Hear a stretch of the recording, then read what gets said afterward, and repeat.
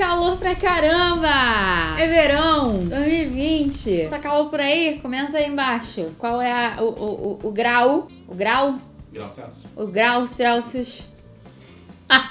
Aí vai vir aquela pessoa que mora no, na- no Canadá e fala: aqui tá menos 13. Aqui no Brasil é calor pra caramba. Aqui no Rio de Janeiro está muito calor. Estou gravando esse vídeo em dezembro, mas já está muito calor. Então eu imagino que quando esse vídeo for para o ar, está mais calor ainda.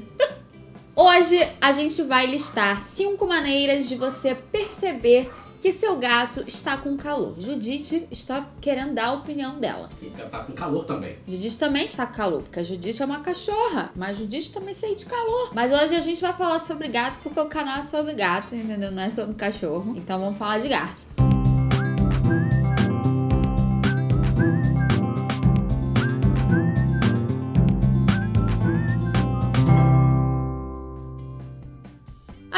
Nós, os gatos também podem sofrer bastante com as temperaturas altíssimas do calor. Eu acho que, pelo menos aqui no Rio de Janeiro, o calor é, é muito alto, a gente tem uma sensação térmica muito maior. E a gente não sabe tão bem assim, né? Tipo, não dá pra se colocar na- na- na- no lugar do gato pra saber como que ele percebe esse calor. O que a gente sabe é que eles têm o o corpo coberto de pelos, né? O que dificulta ali a troca de calor, né? Os gatos não transpiram como nós, a gente transpira pelo corpo todo porque a gente tem toda essa parte exposta para fazer troca de temperatura com o ambiente. Então a gente sua tentando resfriar o nosso corpo em relação à temperatura do ambiente. Se você não sabia disso, fique este fato interessante aí. Os gatos, eles fazem troca de temperatura com o ambiente, principalmente pelas patinhas, por aquelas almofadinhas fofinhas. Então, eles podem suar aquelas almofadinhas, mas não é um suor, gente, tipo nosso, entendeu? De escorrer, suor. Não é assim. É uma troca de temperatura bem timidazinha. Então os gatos têm algumas outras maneiras de tentar se refrescar. Naturalmente, gatos são animais desérticos, então eles estão acostumados com calor. Só que o gato que tá aqui com a gente hoje, ele é bem diferente já em relação a pelos e peso, né? Porque os nossos gatos são gordinhos, então eles têm bastante camada de tecido adiposo que esquenta o negócio, né? Não deveria. Não deveria, mas, né, não é aquele animal atlético, de pelo curto. Então a gente tem que entender essas diferenças do gato de hoje em dia e perceber como que eles sentem o calor pra gente entender quando que ele tá sentindo um calor normal, que ele tá dando conta disso, e quando que o calor tá passando da conta. E a gente precisa ter um cuidado maior e levar esse gato no veterinário. Primeira maneira de reconhecer que seu gato está com calor é pela posição que ele dorme. A posição mais famosa deles é aquela de barriga para cima, bem esticadão, expondo toda a barriguinha e não é pra você enfiar a cara lá na barriga dele. Ele não está falando que você pode, ele só está falando que ele está com calor ok? Por que, que eles fazem isso? A barriga é a região onde eles têm menos pelo. Alguns, porque o bochecha parece que ele tem mais pelo na barriga do que no resto do corpo. Mas geralmente os gatos têm um pelo mais ralinho na barriga. Então expor essa região bem esticadinha ao vento ajuda com que ele se refresque. Segunda maneira de identificar que seu gato está com calor é observar os lugares que ele está dormindo. Pode ser que durante o verão seu gato vai adotar uns hábitos peculiares de dormir em alguns locais que ele não estava muito acostumado, como atrás do vaso sanitário, dentro da pia do banheiro, dentro do box, assim que você sai do seu banho que você tentou tomar gelado, mas não sai gelado porque a água da caixa d'água tá quente. Até mesmo pode acontecer gatos começarem a dormir dentro de caixas de areia quando a areia tá recém trocada, né? Porque eles também não são porcos. Mas o que acontece? A areia, ela geralmente fica mais fresquinha do que o ambiente. Então, assim que você troca e tá tudo limpinho, ele aproveita para tirar uma soneca ali com a barriguinha bem na, na, na areia para dar uma refrescada. Isso pode acontecer durante o calor, então geralmente é esse caso, mas se for um caso frequente, se seu gato sempre tá fazendo isso, ou ele faz isso mesmo com a caixa suja, veterinário tá? Depois fala comigo também, porque pode ser um problema comportamental. Se for comportamental, fala comigo. Mas basicamente os gatos vão procurar lugares mais geladinhos, então pisos que, que sejam mais fresquinhos ou locais da casa que batem corrente de vento. Aqui em casa, o corredor é uma parte que bate bastante corrente de vento, dependendo do horário do dia.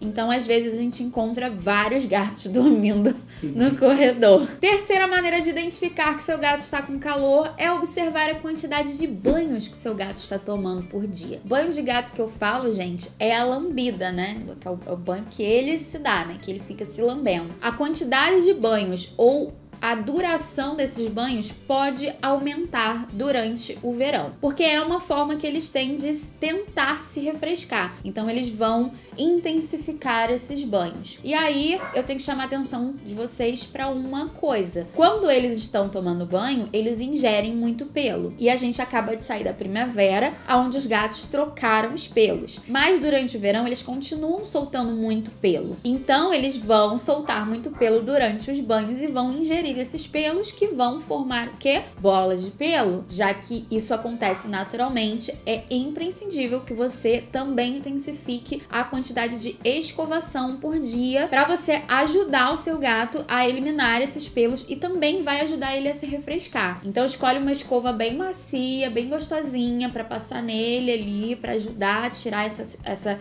esse excesso de pelos para que quando ele se lamba não saia tanto pelo na boca dele. Eu tenho um vídeo aqui no canal que é um manual para escovar um gato que não gosta de ser escovado. Vou deixar aqui.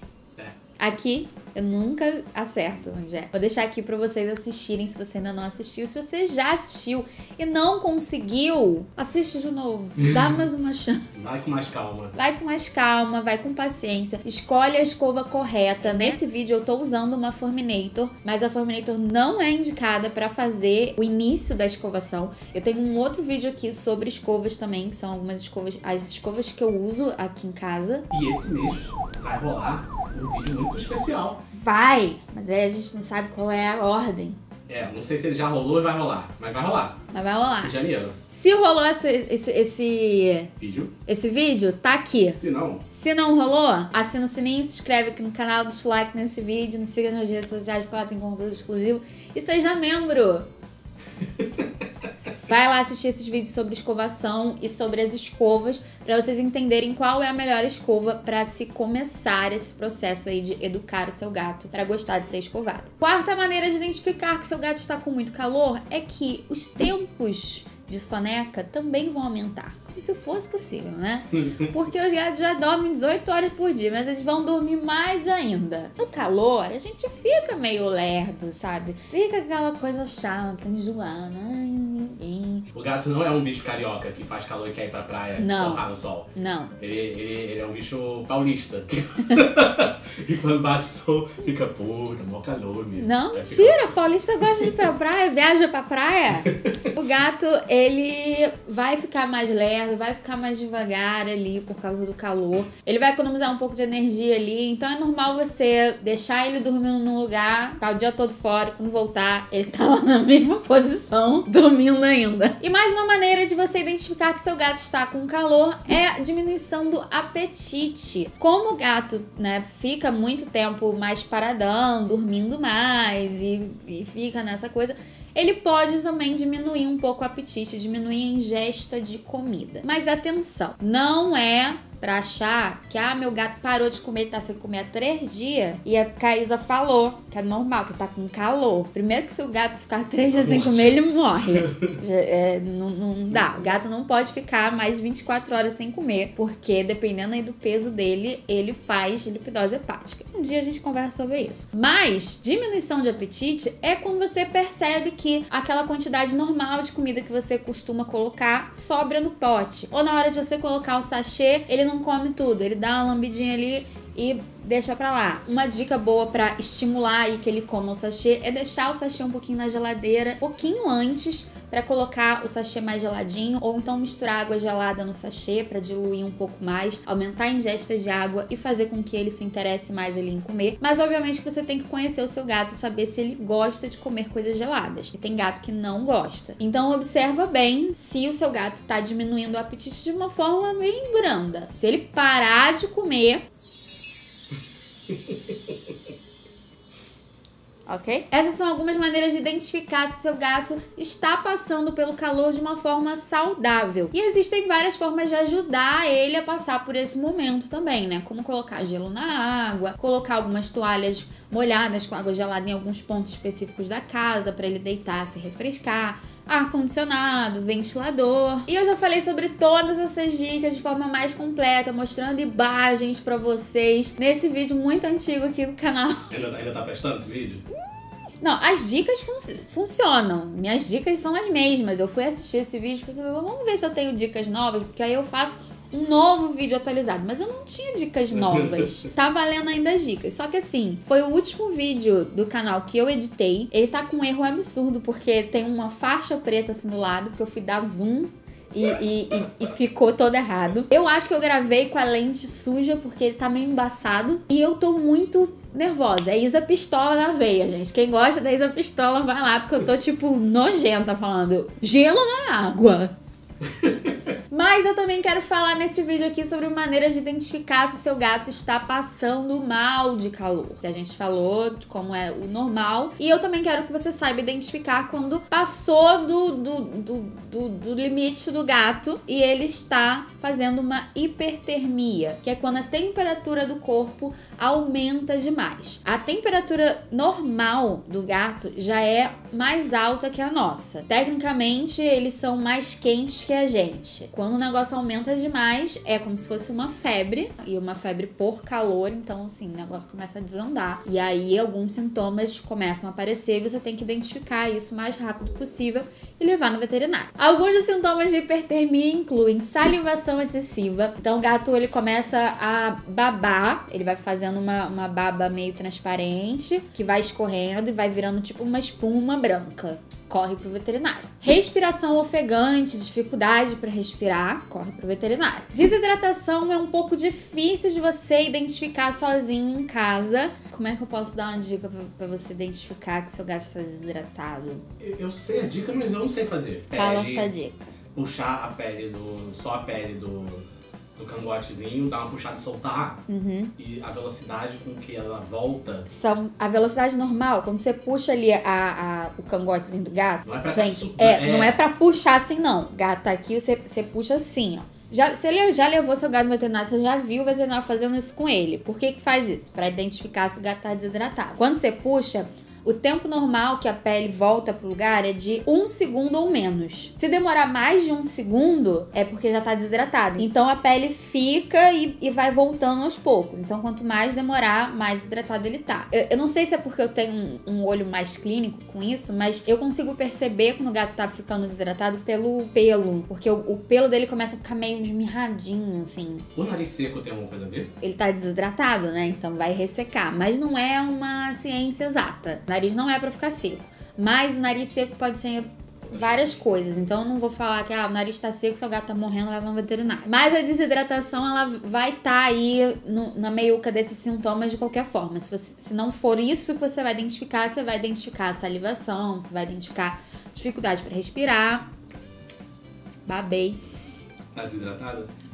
Outra coisa que também pode acontecer é a constipação, né? Ou seja, seu gato não vai à caixinha. Então ele vai deixar de ir à caixinha um dia, vai deixar de ir dois dias. Pode acontecer vômito também, de espuma, né? Aquela espuma branca, vômito meio esverdeado, porque ele pode estar com o estômago vazio, então ele vai vomitar ali aquele, aquele vômito de bile, né? A anorexia, né? Que é quando o gato para de comer. E ele pode também ter o, o contrário ali da constipação, que é uma diarreia, só que vai ser uma diarreia hemorrágica.